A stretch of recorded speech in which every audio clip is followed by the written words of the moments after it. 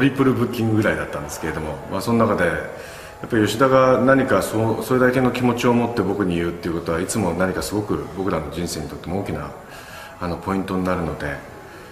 っぱりこれをやらなきゃいけないのかなということでまあいっぺんやると決めたらもうスイッチは入りますんでね。あの、えー、11月に話されてえー、2月しかスケジュールがなくて全部のですね。で5月6日に出したいというこの3地点をちゃんと通り越えていきたいというのが、まあ、僕のその何ていうんですかね、えー、集中していた集中したという、まあ、ポイントだったんですけども、はい、あの人はすごいあのまあ彼女自身は言いませんけどもすごいもうデビューした時からあるいはデビューする前から非常に努力家っていうか自分では努力って言わないんですけれどもまあ、僕から見てると本当にそのずっと今まで走り続けてる人だしっぱりそのお客さんに自分の歌を聴かせるということには非常にストイックであの常にその100%以上のものを見せたいという思いが強い人なのでそういう意味ではあの、まあ、今回リハーサルの期間は短かったですけれどもあの彼女の姿勢はいつもと変わってないと思います。えー、っと正直言って、まあ、今回の「ビューティーハーモニー2」に関して言えばドリカムと限りなく近づいてると思うんですね。ドリカムの目的っていうのはやっぱり吉田美和の歌と詩を伝えるということが唯一の目的で作ったバンドですから、えー、吉田がまだその今みたいなプロデュース的な能力をまだつけていなかった頃は、まあ、僕がリードしてきましたけれどもやっぱり1415年経って彼女がその自分をプロデュース仕方を覚えてきてからは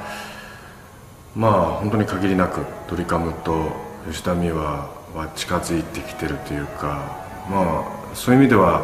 この「ビューティーハーモニー2」である種ドリカムとしての僕がやりたかったこと吉田美和としてやりたいことが非常に似通ったものになったなということであの逆に言うとこのアルバムのおかげで「Dreams Come True」が自由になれるっていうかまたねまた自由になれるというあの思いはレコーディングの最中にして、まあ、それを吉田と話してあそうだねっていうことで多分あのこれをきっかけに「DreamSCAMT」とか」また新しい一歩を踏み出すんじゃないかな。多分もうちょっと僕のわがままが出るかもしれないですね次のドリカムは。はい。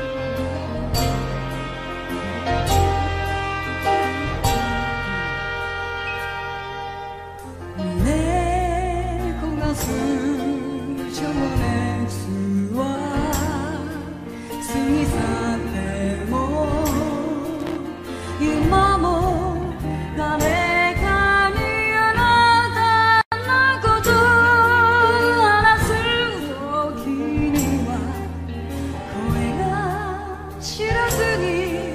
優しくなる静かな静かなこの君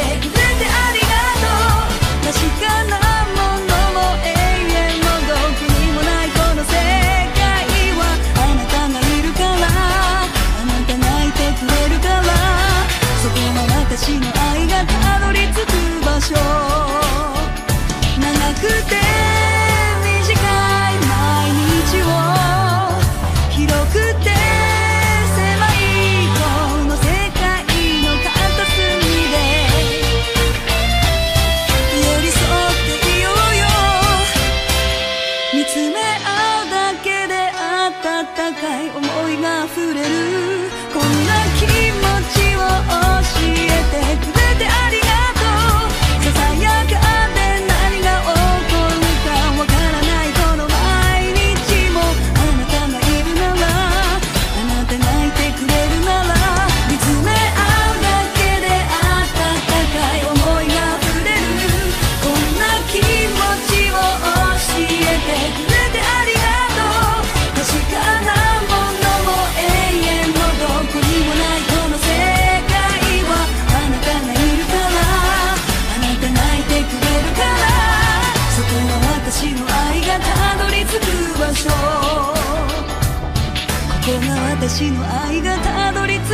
手